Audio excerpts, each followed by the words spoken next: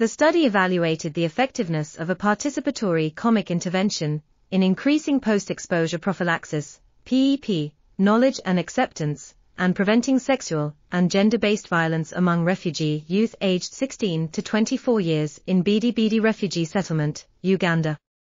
The intervention used comics as a low-cost, low-literacy, and youth-friendly method to share health-promoting information. The study found significant increases in PEP knowledge and acceptance, bystander efficacy, resilient coping, decreases in sexual violence stigma and depression, and increased empathy among participants. The survivor-informed participatory comic books are a promising approach for advancing HIV prevention through increased PEP acceptance and reduced sexual violence stigma with refugee youth. This article was authored by Carmen H. Logie, Moses Okumu, Miranda Loutet, and others. We are RTCL.TV, links in the description below.